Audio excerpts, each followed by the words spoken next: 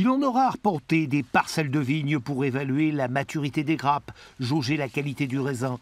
Mais aujourd'hui, après plus de 30 ans passés à la coopérative de l'île de Ré, François Guilbault part en retraite. Dans le labo, il goûte une de ses dernières cuvées. Le nez a toujours son importance, même si la profession a évolué.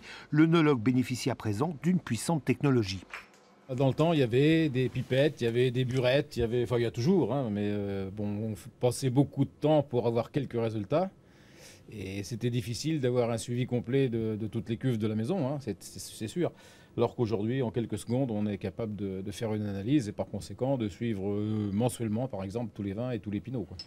Le métier requiert de l'expérience, alors depuis trois ans, François forme Étienne, un étudiant en alternance, qui va prendre sa suite.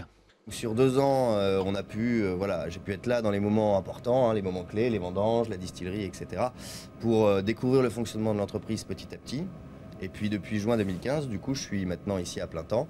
Et donc ça nous a laissé une année de plus pour faire un cycle complet ensemble, euh, voilà, pour, pour arriver jusqu'à la transition euh, terminale, quoi, si, si je peux dire ainsi. Et avant de partir, l'ancien a un conseil à donner à son jeune successeur. Il faut dominer le sujet depuis la viticulture et jusqu'à la mise en bouteille. Donc c'est certainement d'avoir de, la hauteur pour pouvoir euh, voir ce que, tout le monde fait dans la maison, hein, depuis les collègues de terrain qui sont dans les vignes, nos cavistes dans la, cuverie ou les gens qui distillent et, aussi nos clients.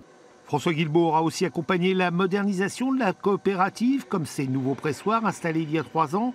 Son savoir-faire aura permis au vin de monter en gamme. C'est donc l'esprit tranquille qu'il quittera les chais pour profiter d'autres plaisirs iliens, la pêche, le bateau et de temps en temps un petit pinot avec modération.